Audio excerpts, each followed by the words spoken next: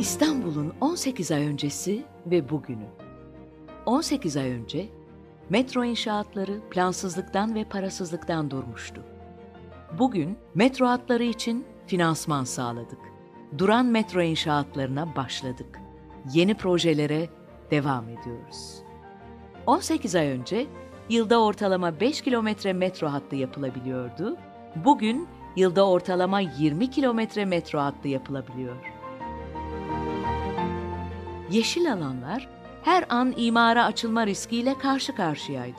Yeşil alanlarda düzenleme yapılmıyordu.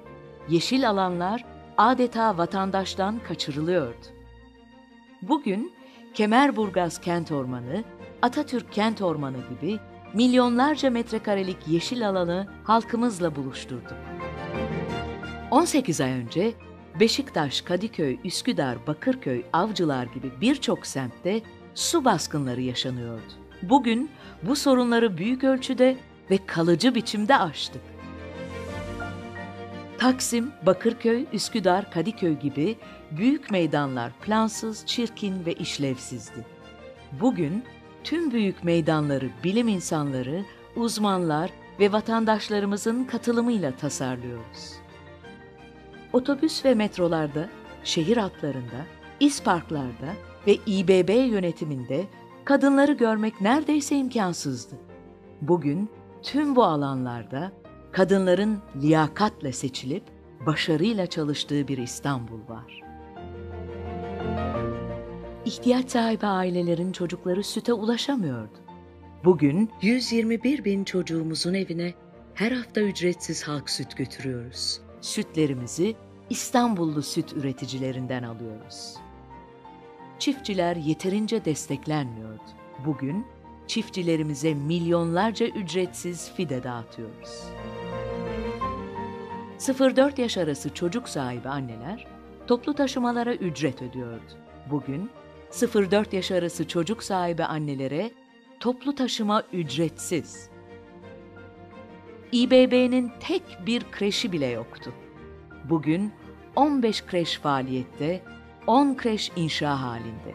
2021'de toplam 60 kreş daha hizmete girecek. 18 ay önce ihtiyaç sahibi üniversiteli gençlere eğitim desteği verilmiyordu. Bugün on binlerce üniversite öğrencisine 3200 lira, yüz binlerce ilkokul öğrencisine 300 lira eğitim desteği veriyoruz. Üniversiteli gençlerimiz için yurtlar açıyoruz. İBB bünyesinde tek bir istihdam ofisi bile yoktu.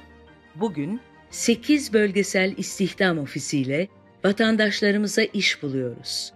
4 ofisimiz daha çok yakında hizmet vermeye başlayacak. Bugüne kadar yaklaşık 13 bin vatandaşımızı bu ofislerimizde eğittik, yönlendirdik ve işe yerleştirdik. 18 ay önce halk otobüsü ve taksi konularıyla ilgili büyük sorunlar vardı. Bu sorunları çözecek bir irade yoktu. Bugün halk otobüslerini tamamen İBB bünyesine aldık. Adalarda elektrikli araçlarla ulaşımı düzenledik. Taksi sorununda engellemelere rağmen çözüm sürecine devam ediyoruz. 18 ay önce deprem konusunda yerel yöneticiler hiçbir ciddi adım atmamıştı. Bugün yapı hasar tespit çalışmalarımız yoğun şekilde devam ediyor. Depreme her an hazır olmak için durmadan çalışıyoruz. Sadece 18 ayda İstanbul'un yönetiminde büyük başarılar elde ettik. İstanbul'da yeni bir başlangıcın ilk adımlarını attık. Birlikte başardık.